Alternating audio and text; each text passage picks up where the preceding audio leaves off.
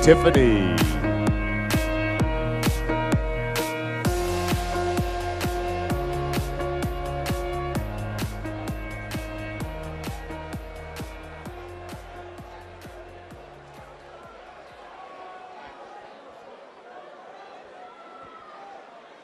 Seconds out, seconds out. This is 20 something versus 40 something. Teresa is going to have to dig deeper than she's ever done. I'll tell you what, Nathan, uh, you got to respect her because she could have quit, but she keeps going on. Teresa is You know, de- I- definitely having a tail end of this fight, but she's she's fighting and she's giving everything she's got. Vincent, you said it already. Teresa's not a quitter. She's not gonna go down without a fight, and she's and the referee seems to Oh. want to see somebody on the canvas before he stops this. These punches are having effect as Khalees is trying to unload and she buckles. that punch buckled. That punch is buckled. And Teresa. I think this is gonna be barrage. it. This is This gonna is- be it. That's a That's barrage it. of punches.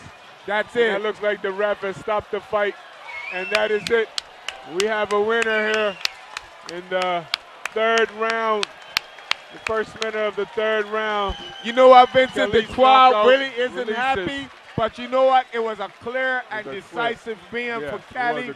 And once again, we want to thank all our sponsors for Yeah. tonight. Johnny Lima Construction, the Royal Gazette, Bermuda Air Conditioning, Beyond Fitness, Ministry of Communities, Culture and Sports, Lindo's, Carib, Gatorade, and Rubis.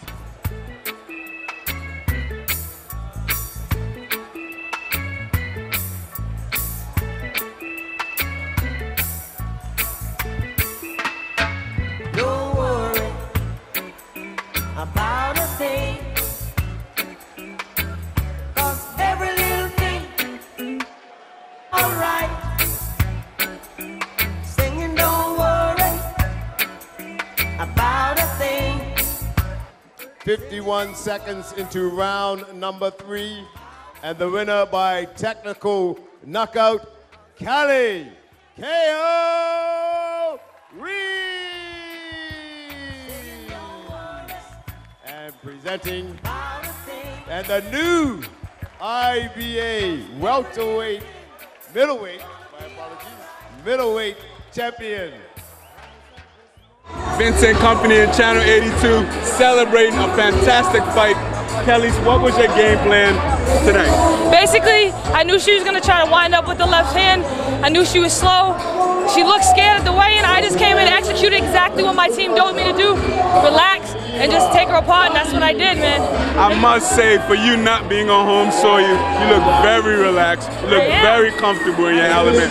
I didn't almost see at anything troubling you during the fight. Um, knowing that this is not your home crowd, knowing that they're going to be against you, being the villain, how did you stick to your game plan and stay focused on what was important? Well, ironically, this actually feels more like home in the U.S. because I'm Native American.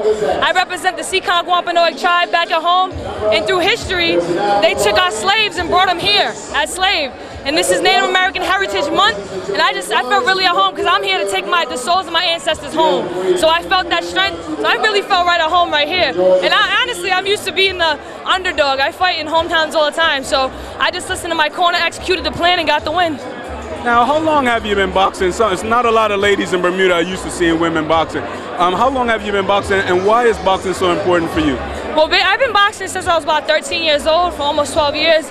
I've been pro since 2000, 2008. I don't have as many fights as I should, but our weight class is a little funny, so you know, fights are a little tough.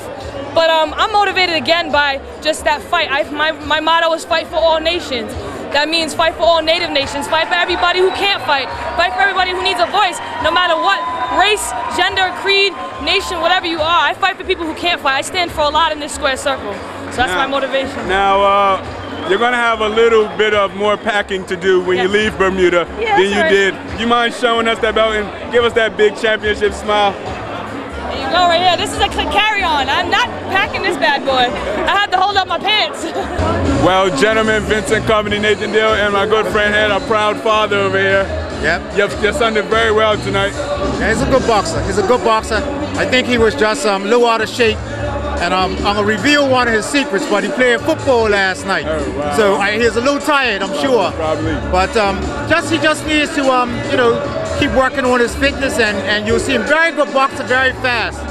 I tell you what, it's been a night of firsts, a night of many milestones. Uh, Teresa having an awesome fight, another presentation. But Nikki Bascome's first fight in Bermuda, how did you feel about that milestone? You know, it is an awesome display, exactly what we expected from Nikki. You know what? And I've been saying for some time now, we expect big things from him. So we're looking to see him at Madison Square Garden sometime in the near future. Great job, Nikki. Overall, good fight. It's been awesome watching this enormous crowd, thousand packed into this Pontiana ballroom. Johnny Lima Construction, Channel 82, bringing you a fantastic night. Uh, we've seen fight after fight, we've seen knockouts, we've seen blood, we've seen sweat, and we even saw a few tears shed. Well, we're thanking all of you for coming and joining us for this fantastic ride. This is Vincent Company, and we're thanking you from Channel 82, the channel where Bermuda shines through.